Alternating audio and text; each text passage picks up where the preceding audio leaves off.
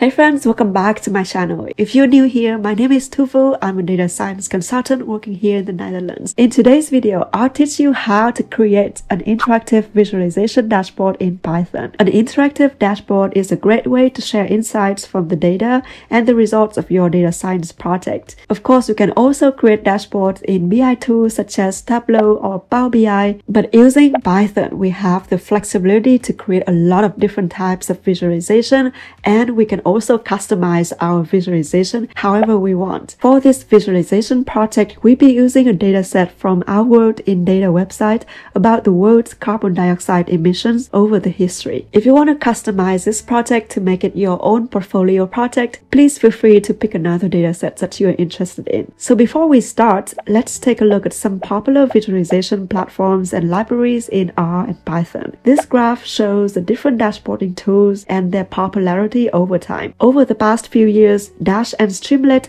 have gained a lot more popularity as dashboarding solutions in Python. However, X2 has their own pros and cons, and so it's important for us to know when to use which. If you're working with Jupyter Notebooks for your project, Voila and Panel are the two libraries that support working with Jupyter Notebooks, which means you can turn your notebook into a dashboard. Meanwhile, Dash, Streamlit, and Flask do not support this. In addition, each of them is suitable or optimal for a certain use case, but I won't go deeper into the comparison in this video. For now, I have two options, namely Voila and Panel, as I'm planning to work with two of the notebooks. I found out that Voila is actually not very flexible in terms of how you can customize and design the looks of your dashboard, so for this reason, I'm gonna go for Panel. So what the heck is Panel? Panel is an open source Python library that lets you create custom interactive web apps and dashboards by connecting user-defined widgets to plots, images, tables, or text. Panel is developed by Anaconda. Uh, I mean the Anaconda company, not the Anaconda. It's one of the seven packages in the HoloViz ecosystem. Here's a simplified overview of how these seven packages work together to help turn a pandas data frame into a visualization dashboard. Okay, that's a lot of information. If you're still hanging there, let's now really get our hands dirty and get started with our project. First of all, let's create a project folder called CO2 dashboard and then go into this folder. Now we want to create a virtual environment for our project. This will create an isolated environment for our Python project so that this project can have its own dependencies and packages regardless of whatever dependencies every other project has. This step is crucial to make our visualization work properly because I've encountered some really strange issues with the visualization in Jupyter Lab if we don't do this. If you're on Windows, you need to use another command for this, but I'll put it somewhere on the screen for you we'll be working with two libraries, namely hvplot and Panel. Let's install hvplot and also Jupyter Lab for our project. For Panel, we need to install it in the base environment instead of the virtual environment because otherwise I found out that the plots would not be interactive in Jupyter Lab. It's kind of strange and I still don't understand exactly why, but anyway, let's go out of our virtual environment and install Panel.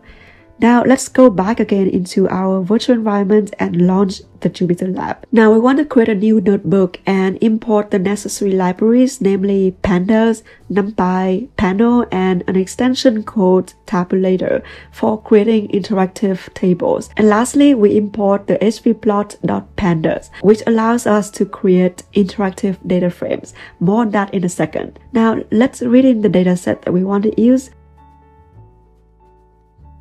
As you can see, for each country in the world and for each year in the history, we have the data for each measure of CO2 emissions. If we print out all the columns, we can see that we have data on CO2 amount, CO2 per capita, CO2 from different sources such as coal, oil, and gas. We also have other information such as GDP and population of the countries. Please note that the country column here also includes continents and the world as a whole. For example, we can filter this data for the world or Europe or North America. Looking this data set, we can brainstorm on what kind of visualization we want to build in our dashboard and how exactly we want our dashboard to look like. I want our dashboard to have a header, a sidebar with some text and the overall settings and control widgets. Then in the main body of the dashboard, we can have a few different visualizations. First of all, we can visualize the CO2 emission over time by continent. Next to this visualization, we can add a table to show the exact amount of CO2 per continent, just for further information. For the next graph, it could be interesting to plot the CO2 emissions against the GDP per capita.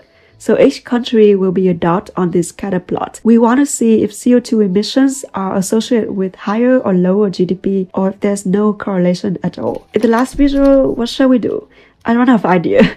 okay, maybe we can plot the amount of CO2 emissions from different sources such as coal, oil, or gas per continent. So we can have a comparison of which continent produces the most of a certain source of CO2. For all the graphs, we can have an overarching interactive control. For this dataset, as we have many different years, I think it makes sense to have a slider here for the year. Going back to our notebook, I'm a bit short in time for filming today, so I'll walk you through the code and not do the full full live coding. Anyway, first of all, we'll do some pre-processing to replace the NA values with zeros. And we'll also create a new column for GDP per capita by dividing the GDP by the population. We have to be a bit careful here with dividing by zero values. Now we need to make our data frame interactive by calling this interactive method on our data frame. You'll see in a bit what we can do with it. Please bear with me. Next, we want to create a few widgets for our visualizations. The widgets are the interactive elements elements on our dashboard like sliders, radio buttons, or drop-down menus that users can use to configure our visualization. If you go to the panel's documentation page, you can see a lot of different types of widgets you can create. For example, slider, radio button, and also how exactly to create them. So here we go. I have checked for the mean and the max value of the year in our dataset, so I have put them here. Next, we want to create a radio button widget for the different measures of CO2, which is the y-axis of our first chart. In this case, I'm interested in CO2 and CO2 per capita, so I include them here. Now we need to connect the data pipeline with the widget so that every time the widgets change, the underlying data for our visualization is also updated. So here I just select only the years that are before the year value in the slider. And then we aggregate the data by country and year column. So here's what the data pipeline looks like.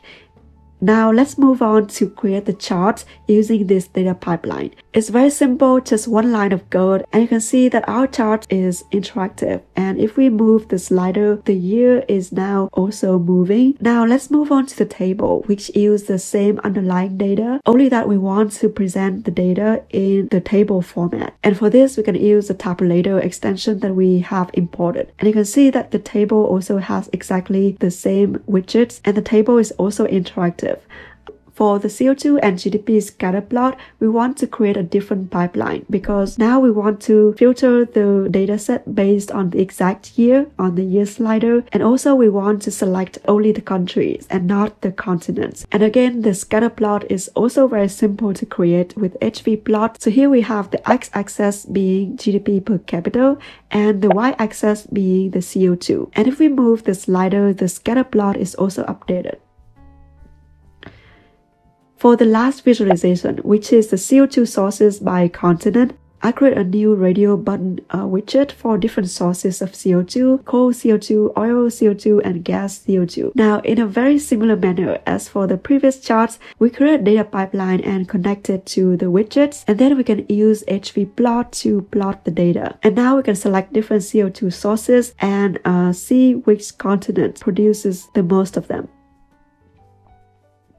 So now that we have created all the visualizations that we need, the last step would be to create a dashboard, which is simply to put all the visualizations together on one page. Luckily, Panel has a lot of dashboarding templates that allow us to put very easily all the visualizations together. I'll choose the fast list template and we can define here the title, the sidebar, which is the left panel on the dashboard. We can add here the text or the images in markdown formats. And we also want to include our year slider on this sidebar. Next, we'll define the main body of the dashboard. So the whole concept is very similar to how we design websites. So everything can be put in rows and columns. As our dashboard has two rows, I have two rows here. So the first row has two columns, one for the line chart and the other one is for the table. Now for the line chart, I also want to include the, uh, the widget which belongs to this graph. So that's why I include this widget here in this column. And the right hand side column is just a table. So it's just this. For the second row, we also have very similar structure.